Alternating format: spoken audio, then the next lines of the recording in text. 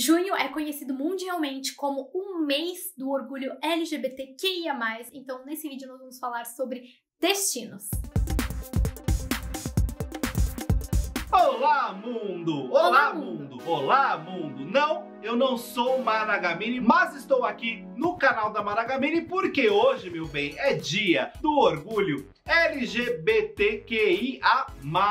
Pois é, nós sim precisamos ficar muito orgulhosos do nosso dia e comemorá-lo sim. Hoje eu estou bem colorido, vocês viram? Porque o que? Eu sinto orgulho, é claro. E para juntar aí essa ideia de orgulho da comunidade, hoje nós vamos conhecer alguns locais no mundo, vamos dar um rolê por aí que são locais seguros, locais bem legais, bem divertidos e que nós da comunidade podemos curtir, viajar sem nenhum problema. Para começar, vamos para São Francisco, uma cidade que é um marco muito importante para a comunidade LGBTQIA+.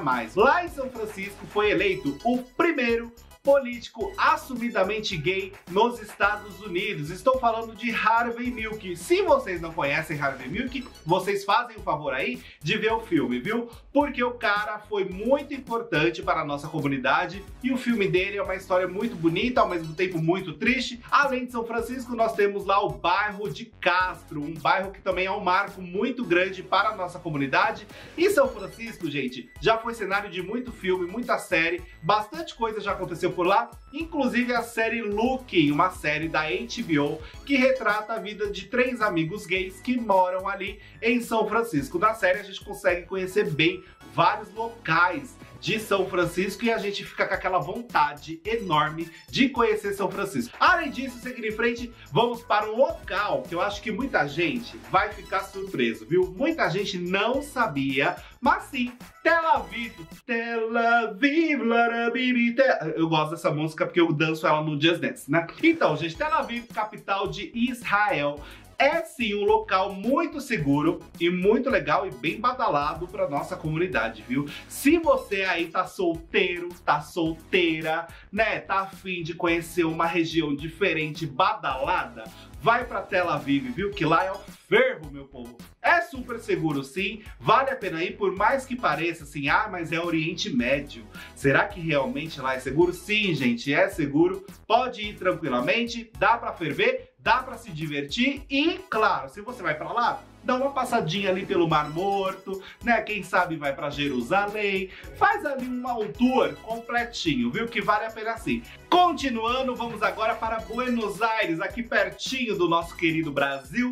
Você pode sim ir para Buenos Aires tranquilamente, porque lá tem até estação de metrô dedicada para um ativista gay. Então sim, é uma cidade segura. Existe um bairro específico lá em Buenos Aires, um cruzamento de duas ruas ali, duas avenidas, que é bem badalado, é bem conhecido pelo movimento também e que é super seguro. Além disso, gente, Buenos Aires costuma aí ter uma agenda bem legal para nossa comunidade, com vários eventos, várias festas, várias coisas bem legais que a gente pode ir, bastante feira voltado para o nosso público. Então é um país que sim, é super seguro para a gente ir, que tem muita coisa legal e que também, gente, valoriza o nosso político, valoriza a nossa movimentação, a nossa luta pelos nossos direitos, né? Então é bem legal visitar também a Argentina. Agora vamos mudar de hemisfério e vamos para a Europa. Vamos para a Grã-Bretanha. Vamos falar de Brighton, ou seria Brighton, ou seria Brighton mesmo? Fica aí a dúvida. Mas o que eu sei é que essa cidade,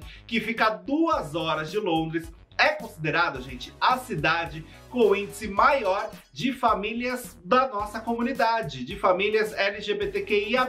Além também de ser uma cidade muito bonita, é uma cidade que consegue ali deixar a gente à vontade, com bastante coisa para fazer, restaurantes voltados para nós, bares, baladas, hotéis também voltados somente para nós. Então, se você vai para a Europa, se você vai para a Grã-Bretanha, vale a pena você passar por Brighton ou Brighton, desculpa o meu inglês, mas vale a pena você passar por lá assim, porque afinal fica duas horas de Londres, dá para fazer ali um bem bolado e você se diverte numa noite totalmente voltada para nossa comunidade lá na Europa. Legal, né, gente? Por fim, nós vamos agora para México. Pois é, não sei porque eu fiz esse movimento, mas nós vamos para o México. Vamos falar de Cancún e também de Puerto Vallarta.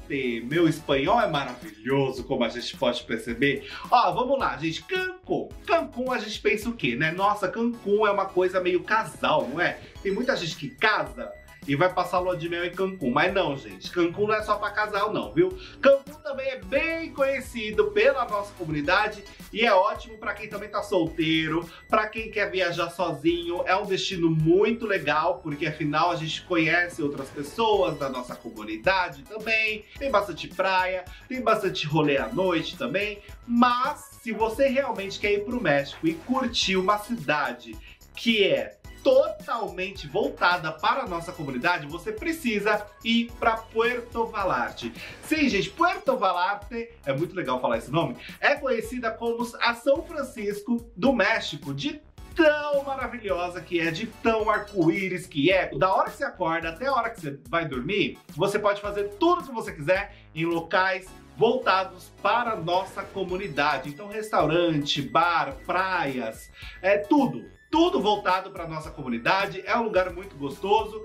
Tem uma temperatura que, dependendo de quando você for, você vai curtir também um verão muito bom. Então, assim, vale a pena ir para esses locais. Eu dei cinco dicas aí de roteiros de viagem que nós, da nossa comunidade, podemos fazer com muita segurança, sozinho, sem ter medo, né? Sem temor nenhum, sem temer, gente. Coisas importantes. E sinta orgulho. A gente precisa sentir orgulho, sim, do que nós somos. Com muito orgulho, a gente caminha para frente, cada vez com mais direitos, porque é o que a gente tem que ter, não é mesmo? Direito a constituir família, direito de ir e vir, direito de ir aonde quiser e direito de amar. A gente tem esse direito sim em todos esses lugares que eu falei, com muita segurança, viu? Bem, gente, essas foram as dicas, espero que vocês tenham gostado. Se vocês já foram para algum desses lugares, Comenta aqui, gente, comenta nesse vídeo. Ou se você está planejando também ir para um desses lugares, comenta nesse vídeo, viu?